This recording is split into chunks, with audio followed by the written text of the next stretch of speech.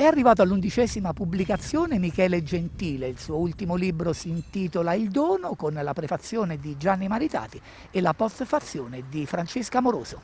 Io con un piccolo, semplice e simpatico artificio letterario praticamente ho eh, prodotto un, un libro eh, nel quale poi in realtà c'è un romanzo breve e poi una vera e propria sillogia di poesie.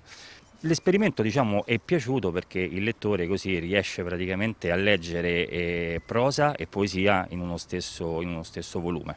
Il dono, perché questo titolo e ecco, qual è la storia, qual è il contenuto? Allora, io amo definire il dono come una vera storia di fantasia, è una favola con dei contorni molto reali. E in realtà ho voluto fare un atto d'amore nei confronti della poesia, la poesia per me è, è vita. E in questo contesto eh, lo immagino come un dono, sia per chi comunque ha la, ha la, felicità e la possibilità di scrivere poesia, ma anche perché la poesia comunque oltre che essere uno strumento artistico è anche diciamo, uno strumento di condivisione, di unione.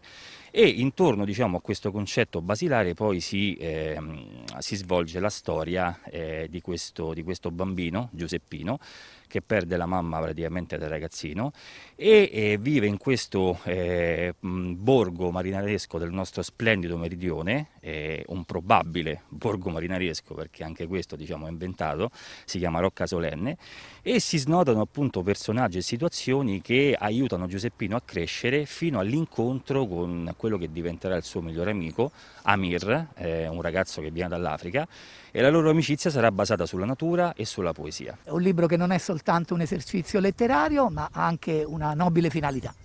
Sì, assolutamente, lo considero un libro, un libro, solitale perché, e qui devo ringraziare assolutamente il mio editore, eh, la Masciulli Edizioni, Alessio Masciulli, eh, perché eh, l'intero ricavato delle vendite di questo volume andrà praticamente a sostenere le attività di una Onlus, della Onlus Chiara e Francesco di Torvaianica, che è una struttura, una casa famiglia che ospita bambini che hanno subito delle, delle violenze.